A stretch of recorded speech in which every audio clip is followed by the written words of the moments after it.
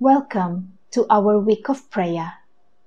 Today's reading is taken from Adventist World titled Repentance and Judgment The Eternal Gospel in the First Angel's Message.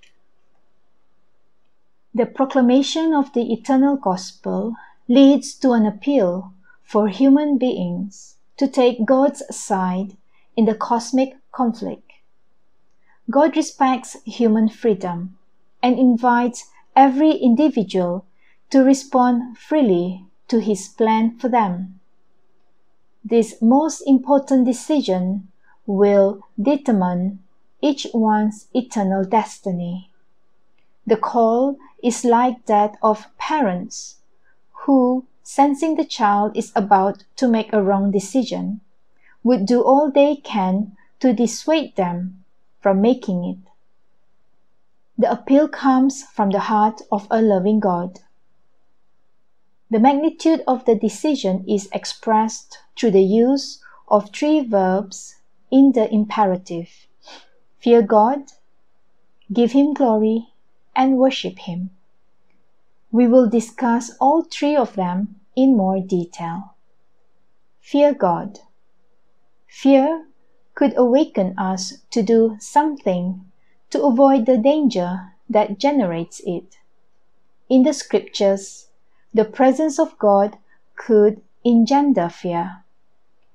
Who would not tremble in the presence of a God who manifests himself in glorious and impenetrable light and that causes nature to shake and recede before him?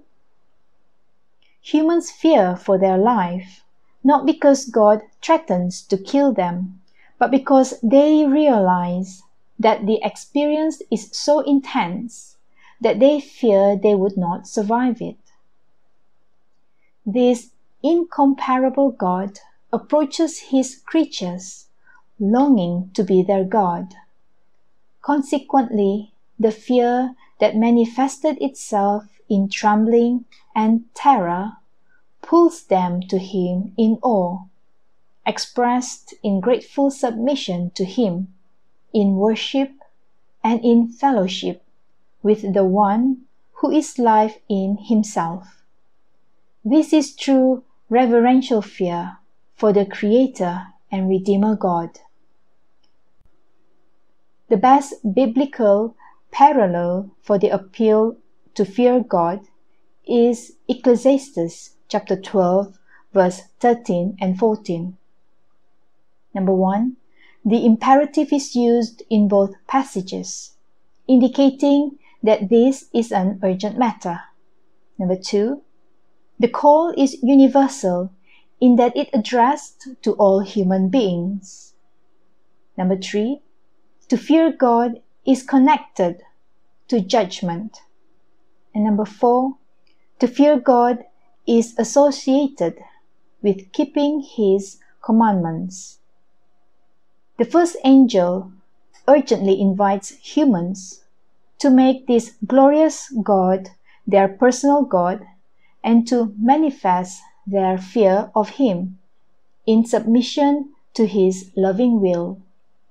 The alternative is to fear or submit to the dragon to escape death. But only he who is the living one died, but is now alive forevermore. Only the Lamb that was slain can preserve life. Give glory to him. Humans are to set aside their pride and instead ascribe honor and glory to God. The angel specifies how humans, immersed in a cosmic conflict in which God's justice and love have been questioned, ought to glorify Him. The phrase, give glory to God, is used in the Bible in the context of judgment to acknowledge human sinfulness and God's righteous judgment. In such case, the phrase is a confession of guilt and or an expression of repentance. In Revelation, To give glory to God describes, first, what takes place in heaven, where heavenly beings declare with one voice that God is worthy of receiving glory because he is the Creator and through the Lamb, the Redeemer. Second, humans are commanded to give glory to God here on earth. Third, at the close of the cosmic conflict, all will give glory to God. On earth, there is unwillingness to recognize that people are sinners and that God is a righteous, loving God. The appeal should go out to all, for some of them will witness the destructive upheaval of the forces of nature and will give glory to God. They will acknowledge that they are sinners and that God's judgments are just. Worship and Judgment The appeal to accept the majestic God of the Bible as one's personal God and to confess one's sinfulness, acknowledging God's justice and love, is stated in the context of the announcement that the hour of His judgment has come. Judgment is, in principle, a legal search for the truth. A crime of cosmic proportions was committed by evil powers when they attacked the integrity of God's loving character. But in the final judgment, his name will be cleared. The wicked promoted the dragon's deception. But the judgment will reveal their mistake. It is now that humans should fear God and give glory to Him. The final judgment is a Christian doctrine. According to the Bible, the final judgment consists of three stages. The first is the pre Advent judgment in heaven, where the lives of God's people are investigated to reveal whether they have remained faithful to their faith, committed to the Lamb. Christ will come to save his people and not judge them.